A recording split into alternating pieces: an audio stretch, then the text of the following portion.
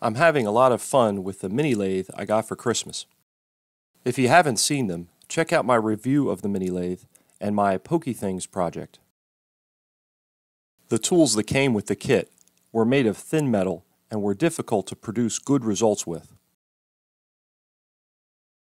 I modified some old files and screwdrivers to use on my Pokey Things project.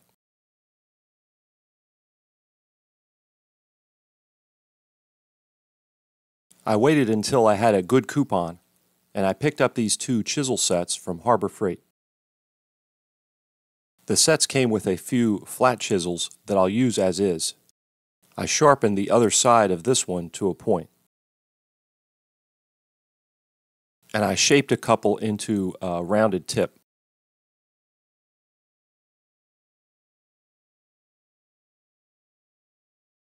And this one I modified to cut a bead.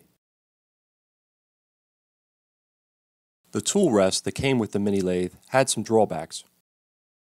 It can't be adjusted close to the work. And reaching between the work and the rest to tighten the screw is inconvenient. So I got a piece of angle iron and cut one leg down to the correct height for the rest. I cut a slot in the long leg so that it reaches the far groove in the base. I modified a hex nut to fit in the groove.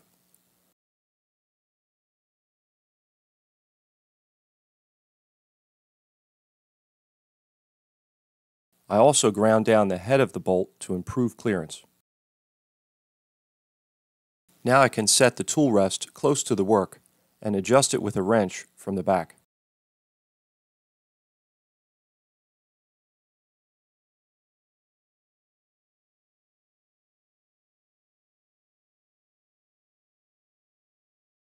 For this project, I used inch and a quarter diameter poplar dowel. I marked the center and then center drilled both ends.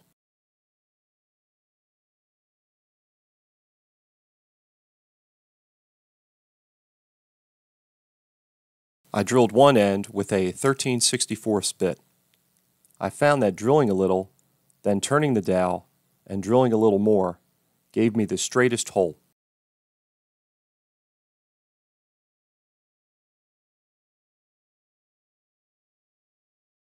I used my 1x30 sander to put a point on the end of the bit driver hex shank.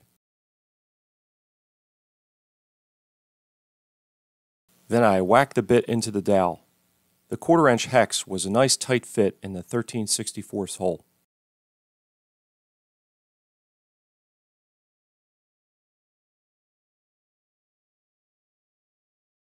I cut a piece of quarter inch hex off of an Allen key to chuck the bit driver and dowel into the mini lathe.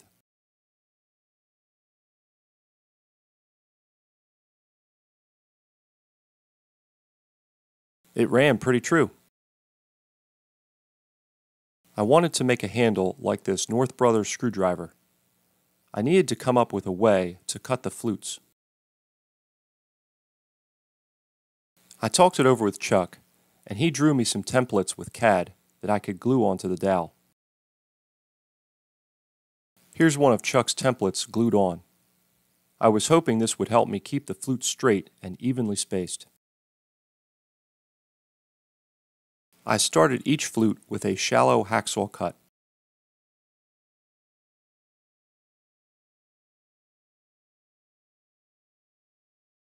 Then I used a round file to open up the grooves.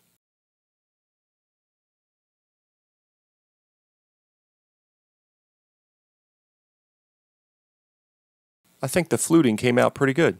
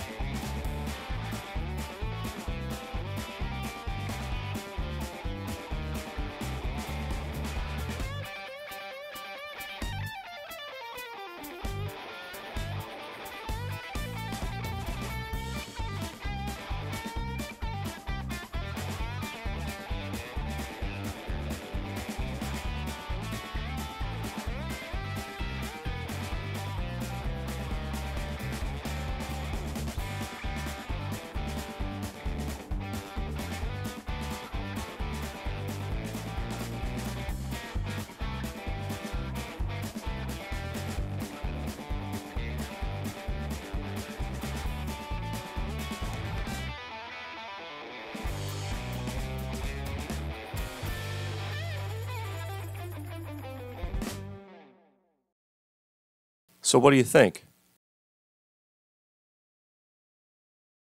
I think I got pretty close. I also tried to copy the classic Craftsman handle design.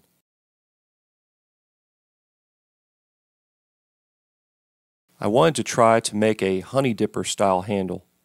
I used the chisel I modified for beading.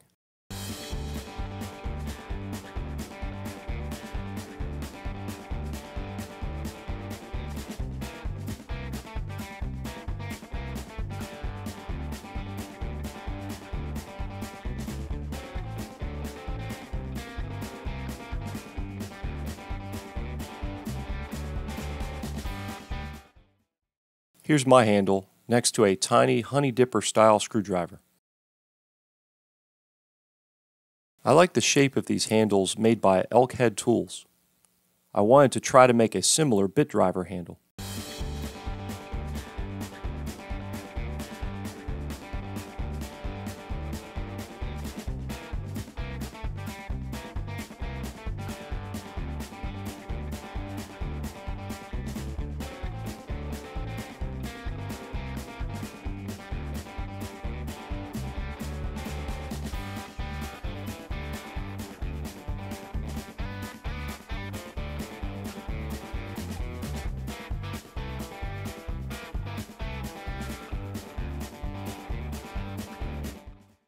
The wood chipped a little during turning.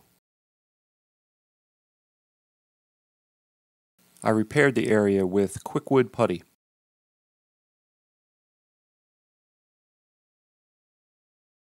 I think it came out pretty close.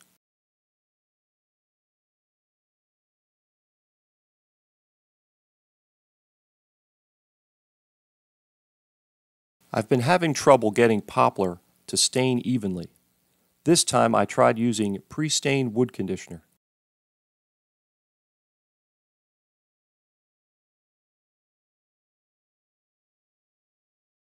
It still turned out horrible. Good thing I had a plan B.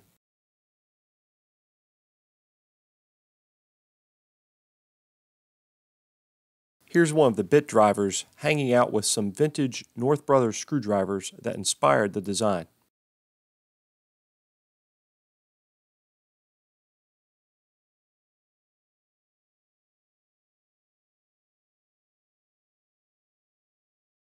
I think my classic Craftsman inspired handle turned out pretty good.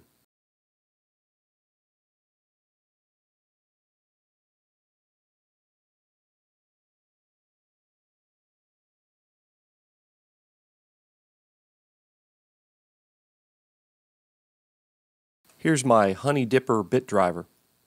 Plan B was Bombay Mahogany.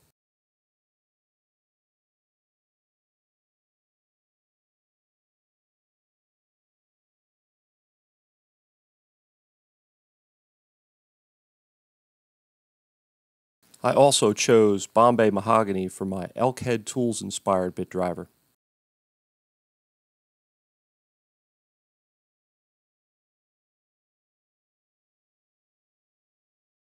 I made Chuck this little bowl as a thank you for helping me with the fluting.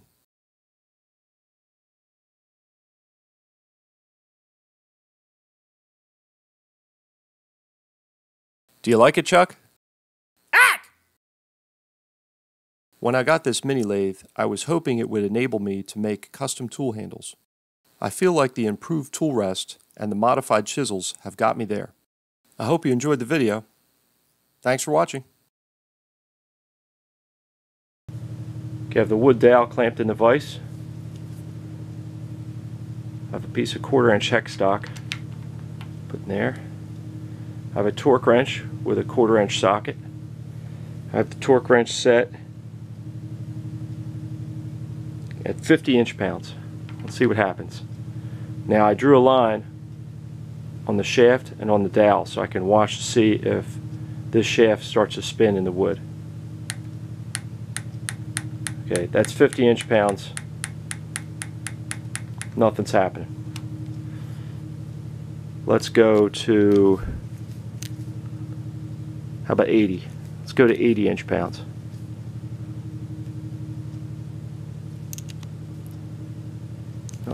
Think that's 70. There. 80 inch pounds. See what happens.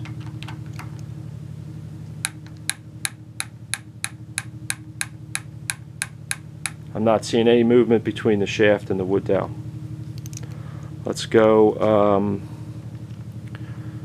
let's go 100.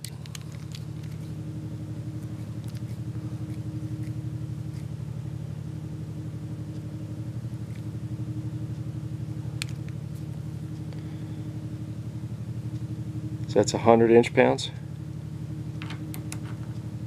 I'm watching the black line I have on the shaft and the black line I have on the dowel and see if they move.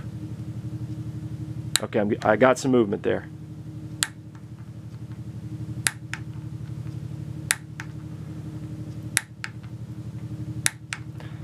I'm going to zoom you up. Hold on, here we go.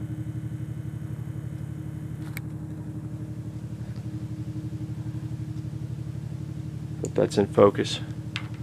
I hope you can see it move.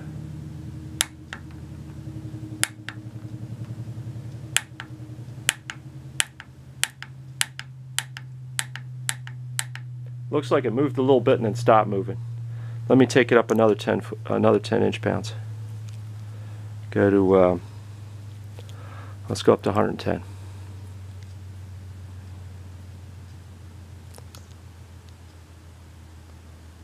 Well, I'm really close. Wow. There you go. 110. Let's try that. Let me zoom you back. How about right there? Let's try right there. Okay, now this is 110. Okay, definitely, it's definitely moving it.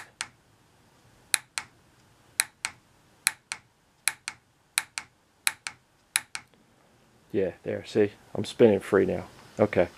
So between 100 and 110 inch pounds is when this this started to fail. I'm curious to know what 110 inch pounds feels like with a normal factory screwdriver. So I have the same piece of Allen key. To see if I can make the torque wrench click. It's still set at that 110 inch pounds. Oh, I can't do it one-handed.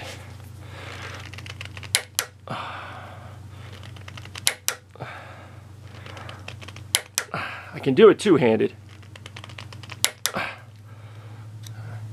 That's a good amount of torque.